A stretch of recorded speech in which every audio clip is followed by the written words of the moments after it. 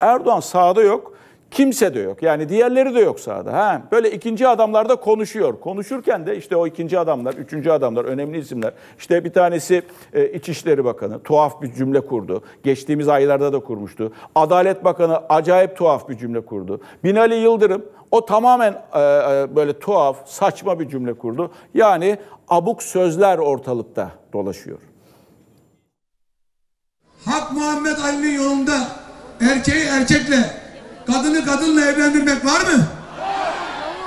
Peki Hak Muhammed Ali'nin yolunda yok da bu niye LGBT'yi Türkiye'ye getirmek istiyor? Desteğinizde 14 Mayıs'ta Recep Tayyip Erdoğan kazanacak. Allah izniyle bu millet Kemal'e bay bay diyecek bay bay. 14 Mayıs'ın akşamı Türkiye'de iki fotoğraftan biriyle karşılaştık.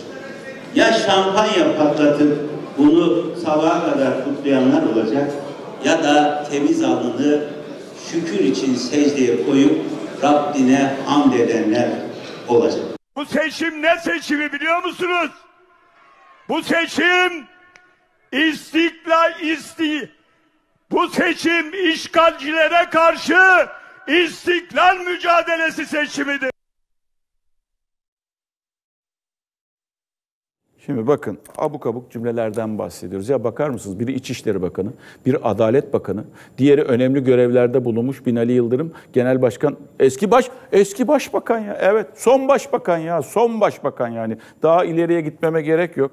Biri erkek erkeğe ilişkilerden bahsediyor. Tuhaf tuhaf eleştireceğim diye. Diğeri şampanya ile kutlayacaklar diyor. İşte biz diyor kazanırsak diyor şükür namazı kılacağız diyor. Ötekisi istiklal mücadelesi diyor. Ya arkadaş yani sanki işgal altındayız. Biz düşmanız. Yani onlara oy vermeyecekler düşman ve bizi yok edeceklerini veya bizi işgalci kuvvet olarak görüyorlar bu ülkede. Ya siz hangi kafadasınız Allah aşkına ya? Çok merak ediyorum Süleyman Bey, Adalet Bakanı, e, Bekir Bey veya e, Binali Bey siz hangi kafadasınız? Böyle bir kafa ülkeyi kopartıyor ya, ülkeyi ayırıyor. Yazık ülkeye yazık ya. Siyaset yapacağım diye, koltuğumu koruyacağım diye kurduğunuz cümlelere bak ya. İçişleri Bakanı erkek erkeğe kadın kadına evlilikten bahsediyor ya. Beş ay önce de kurdu. Utanmıyordu o kalabalığın önünde ya. Gerçekten insanın yüzü kırar, kızarır ya. Adalet Bakanı ya. Şampanyalı mampanyalı kutlamalardan bahsediyor. Merak etmeyin siz giderseniz şükür namazı kılacak çok da insan var. Sayın Adalet Bakanı. Farkında değilsiniz siz herhalde. Siz, siz bu cümleleri kurmaya devam edin. Çünkü dip dalga geliyor sa- sandığa gitmeyecek insanlar bile sandığa girecek. Sadece bu e, olaylar bitsin, bu sözler bitsinler diye. İşte bak karşılığını bu insanlar verecek böyle yaparak. Böyle yaparak. Size en güzel cevap da bu arkadaş. Bu kalptir. Tamam mı? Bu kalp var ya bu sevgi. Bu aramıza hiçbir şekilde nifa sokamayacaksınız. O insanlar da yapmış. Ben de yapıyorum size. Al size cevap. En güzel cevap bence bu.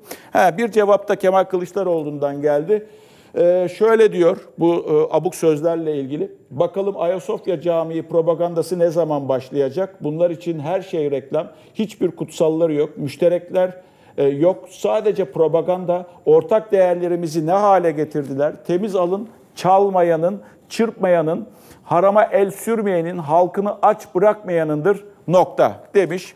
Arkadaşlar aklımızla dalga geçirmeyelim rica ediyorum sizlerden ve böyle tuhaf cümleler kuran, böyle bir sakat düşünce yapısını, yoz düşünce yapısını reddedin.